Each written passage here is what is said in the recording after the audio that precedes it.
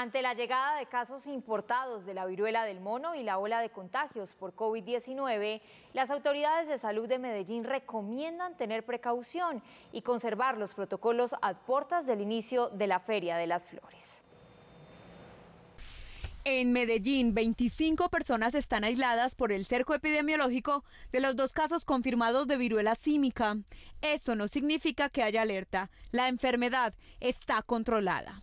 Eh, primero que todo, un parte de tranquilidad. Esta enfermedad está importada, no está en circulación en este momento en la ciudad de Medellín. Sin embargo, desde Vigilancia Epidemiológica, todos nuestros profesionales están ahí eh, haciendo el cerco epidemiológico, haciendo el seguimiento, verificando signos de alarma.